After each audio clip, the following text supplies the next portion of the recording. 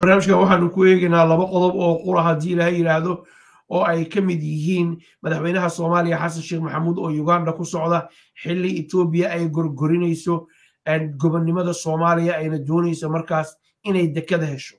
Waxaynu eegaynaa waxyaalaha hortabinta u leh madaxweynaha soomaaliya iyo sida dowladdu ay u maaraysay ilaa iyo haatan damaca etoobiya bulshada soomaaliyeed ayaa si weyn uga fala celisay meel kastoo ay dunida ka joogaanba inkastoo ay jiraan qaar taageersan.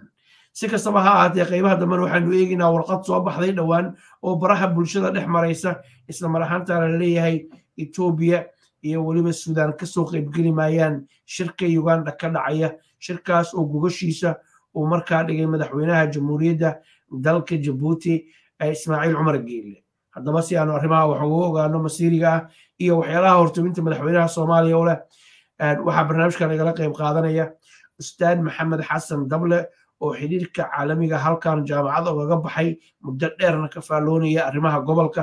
Aad baan kuu soo dhaweynaya ustaad. Cabdi xafiid waan dhowahay aad iyo aad baadna u mahadsan tahay adiga iyo bahda b s t v iyo dhammaan daawadayaasha ku taxan telefishinka iyo barnaamijkaba. Aad baan kugu mahad celinayaa haddii aynu eegno madaxweynuhu shirka siddeed iyo tobanka bisha ka furmaya uganda ayuu ka qayb qaadanayaa maxaad ku qiyaasi lahayd ama ku qiimeyn lahayd saddexda shay ee hortabinta u leh xaaladda dalku uu ku sugan yahay markaad eegtid iyo damaca etoobiya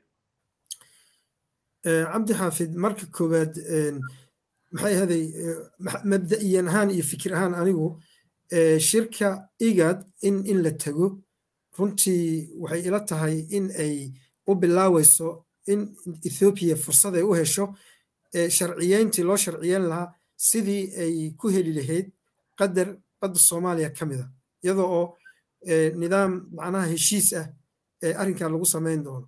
Laakiin ethoobiya intaasi ma aha iyadu damaceedu wuu ka fog yahay bal arrinkan wuxuu ku yahay caqabad runtii jiritaanka soomaaliyeed iyo siyaadada qaran ee soomaaliya.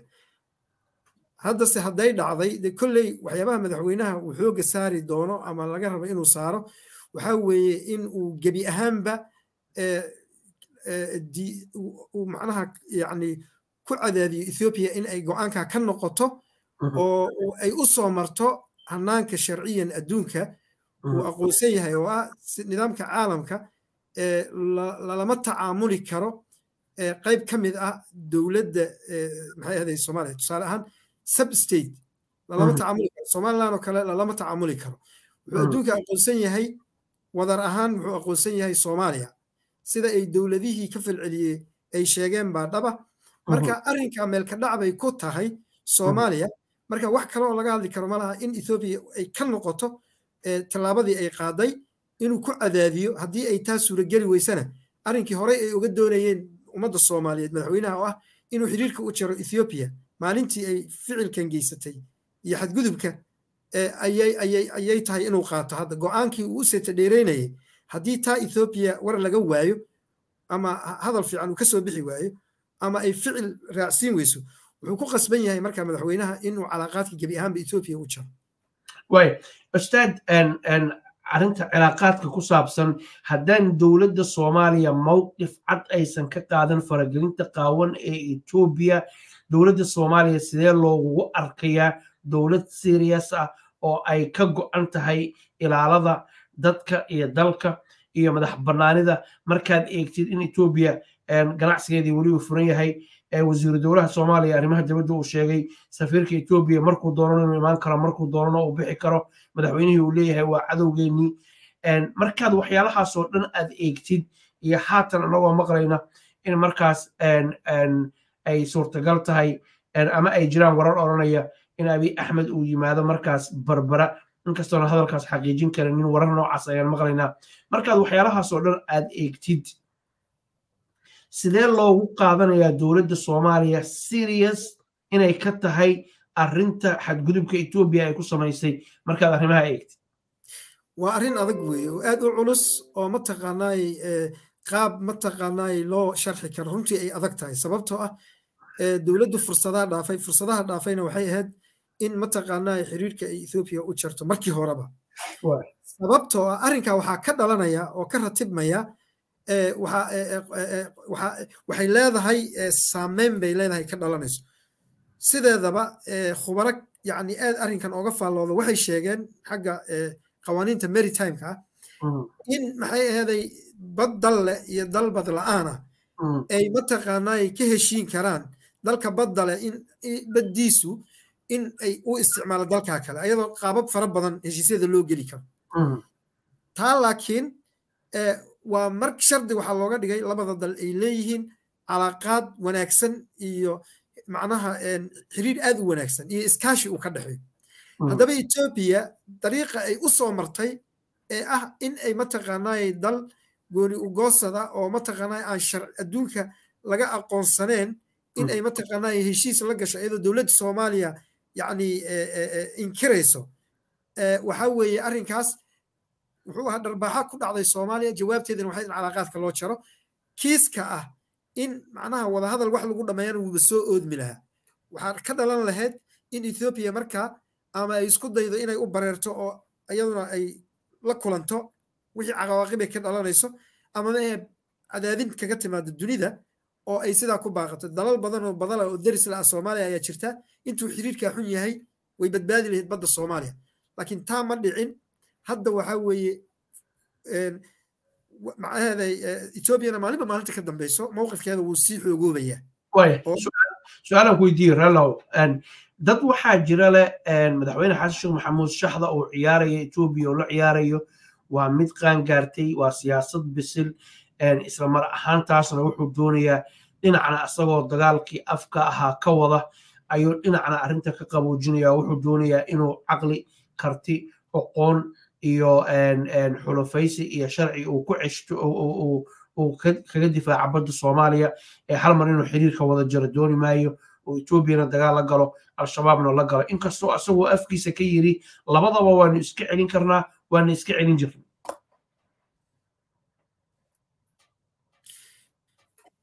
cabdi xafid horta madaxweynaha ficilkiisa iyo hadalkiisa runtii aad iskuma waafaqsano. Anigu hadda twitterka waan u diray maalintii macnaha la soo dhigay muxuu ahaay hadalkiisii ugu horreeyey walaa taaka dhulkeena intaa ma bixinayno xafiiska prime ministerka communicationka u qaabilsan farxaan jimcaale twitterkiisa uu soo dhigay soo sheergeliyey khudbada.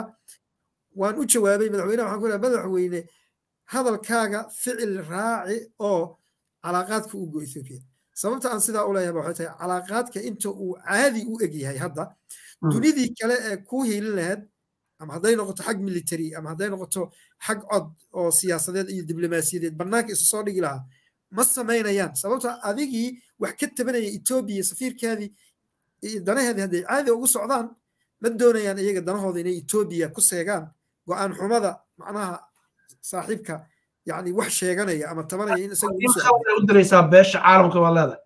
Aad iyo aad sababtoo cid ku u bereereyso in ay adiga danahaaga hormariso ma ay jirto. Marka calaaqaadka oo uu jaro madaxweynaha waxay dhab ka dhigi lahayd hadalkiisa wuxuuna heli lahaa asxaab ku dhiirato in mataqaanaa etoobiya ay cadaadin saaraan. Taa hadda macno weyn ma samayso. Marka hadalka madaxweynaha iyo ficilka softiga ah ee jilicsan waxa weeye macnaha miro dhal weyn ma keenayso. Marka tan hadda aniga kolley tala ahaan aan u marinayo baraha bulshada iyo saxaafaddaba waxay tahay madaxweyne haddii aad ku guulaysan kari weyso in ethoobiya ay ka qoomamayso kana noqoto go'aankii ay gaartay iyo memorandumku sheega ay somalilan la gashay calaaqaadka u jar. Fursadihii badnaaye ku seegay ayaa dib haddana ya weli dowladdu fursaddaa waa haysataa aad iyo aad aad iyo aad waa hagaag waa hagaag haddii aynu eegno warqadan haatan saxaafadda ku jirta gaar ahaan twitterka ee la leeyahay etoobiya shirkaba imaan mayso adigu waxaad aaminsan tahay hadayna afku dhufatay inaysan soomaaliya tagtaba meesha inaysan markii horeba ku habboonayn etoobiya maxay haddii warqadan ay dhab tahay maxay ma laga yaabaa etoobiya inaysan strategic goal ay ciyaarayso aysan ugu talagashay inay ka baaqatay inkastoo warqadda lagu yiri arrimo iyo ballamo ka horreeyay ayaa jiray. Soo dhowo aad iyo aad. Arrinkan runtii macno weyn ma samaynayo. Ethoopia waxay u dhaqmaysaa si mataqaanaay keli yani unilateral wax la yidhahdo oo mana xirinayso urur goboleedka igaadna mid ay xirinayso ma aha. Macno weynna uma aragtay inuu leeyahay xogeyaha joogtada muxuu ahaayey ururka igaad waa ethoobiyan wasiirkii hore ee arrimaha dibadda ethoobiya weeye. Danaheeda ayay ku fushanaysay intii ay igaad iyadu mataqaanaa yani wax badan jeerka ka ahayd. Haddana maxay ahaday daacad kama aha oo iyadiibaa xoghayihii ka ah. Madaxweynaha jabuuti shirkan uu macnaha kambala ku ballamiyey ayay hagaldaacinaysaa ethoobiya oynan doonaynin inuu macnaha ka socdo meesha. Marka way u bareedhay etoobiya in ay mataqaanaa xoog iyo inkiraadba ay iskugu darto marka haddii etoobiya ay baaqato shirkan oo dhan bayna qiime iyo macna u samaynaynin. Marka arrinkeedii inay kaga dhabayso oy cidna dhegaysanin wixii ka dhalanaba ha ka dhashee ay mataqaanaa ku socota. Ethoobiyana kolley asxaab la talinayso oo arrinkan ku garab taagan way haysataa. Marka wayna ku nidaamka hadda abiye markaad fiiriso uu etoobiya islaada ya? Yay etoobiya isku halaynaysa. Imaaraadka waa number kow imaaraadku waa number kow halkanna waxaa ka soo socdaa runtii dagaal baa ka soo socdaa mandiqada runtii khatar ku ah oo si lagu baajin karana ay adag tahay. Sababtoo imaaraadku waxaa lagu bartay meelahii uu faraha kula jiray oo dhan way wada holcayaan waa suudaane waa libiye waa maxay ahday yamane? Tiro intaasay dhaaftay. Marka waxaa weeye waa syriya meel kasta oo faraha uu la galo yani way isla holcaysaa. Maxay ahday arrinta bariga dhex xataa waxaa sii qasaya hadda. Qayb weyn bay imaaraadka ka tahay. Marka imaaraadku qudhiisu waktigan xaadirka innaga hadda aan joogno. Dani soomaaliya ma ugu jirtaa dee si toos ah waxyaabihii uu soo farageliyey oo qaawan sida etoobiya oo kale hadda ma aragno laakiin arrinkan etoobiya inuu maalgelinayo uuna garab ku siinayo way caddahay. Dalal kalena way jiraan de kolley waa hagaag waa hagaag. Ma laga yaabaa arrintan inay bilowdo burburka urur goboleedka igad waan qabaa cabdixaafidow arrinkan inuu keeni doono in ay igad gebi ahaanba burburto. Waa bilowgii burburkii igad initiativeki hore iyo iyo iyo iyo hindisihii hore ee ku aas aasmatay igad waa la wada ogyahay waxay ka timid soomaaliya. Warqaddii ugu horreysay ee mataqaanaay lagu aas aasay iyo kulanka uu ku xigay kadibna soomaaliya ethoobiya ayaa heshiiyey kii waxay ku heshiiyeen jabuuti halkaasaana xarun looga igmaday halkaasay mataqaanaa ka bilaabatay. Intii burburka soomaaliya ay ku jirtayna ethoobiya ku adeeganaysay. Kenya soo raacday. Marka hadda ethoobiya damaceeda wuxuu khatar ku yahay xubnaha kale igad sidaa daraaddeed lagu heshiin maayo waana u egtahay in lagu kala dareeri doono. Wataa suudaan ka baaqatay jabuuti khatar bay ku jirtaa soomaaliya khatar bay ku jirtaa maxay ahaday south sudan iyo sudan khatar bay ku jiraan. Kenya nafteedu damac baa kaga jira baddeeda muxuu haba fogaate ee ethoopia damac baa kaga jira. Iyadoo oo og yani oroma inay deegaan ku leedahay kenya xuduudda kenya ee xaggaana oromada xigto oy u arkaysa in halkaa fursad ay ku haysato. Damaca etoobiya wuu ballaaran yahay wuu ka fog yahay soomaaliya oo keliya laakiin soomaaliya waa lagu bilaawaya waxaa weeye weesha gowrac dibiga ha ku quus qaatay dowladaha kale cashir loogu dhigaya.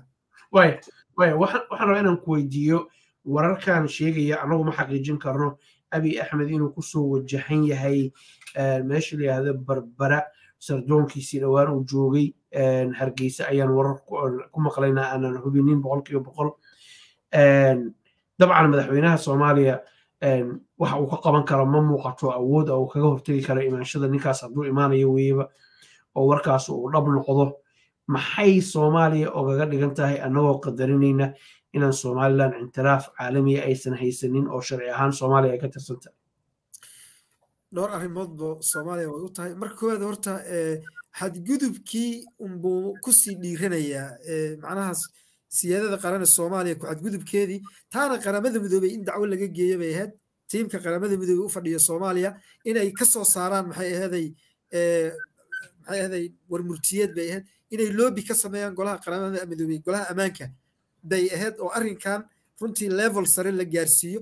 Gaabinta anigu meeshay ka timid garan maayo. Laakiin arrimaha haddii la samayn lahaa waxaan filayaa in uusan dhiiran lahayn laakiin arrinkan iyo wararkan hadda la sheegayo iyo qaabka abiya uu u dhaqmahayo warar isa soo tarahayo oo xooggan bay u egyihiin xagaldaacinta haddii ay warqaddaa dhabowdo lagu xagaldaacinayo shirkaas igaad ee kambala loogu ballansan yahay in uu inkiro oo uu tiisi sii wato inuu ku caddaysto waxay keenaysaa in wadaniyad soomaaliyeed ay dib u curato in kacdoon shacab uu dhasho in dadka soomaaliyeed midnimo ay ka helaan iyaduna way keeni kartaa.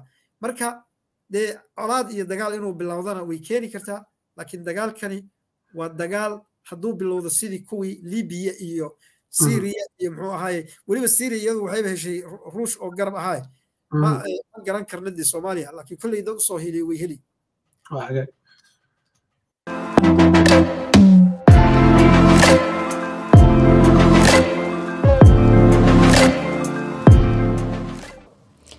myremed waxay kuu fududeynaysaa sida lacag ugu diri lahayd ahalkaaga iyo asxaabtaada meel kasta adduunka joogaan.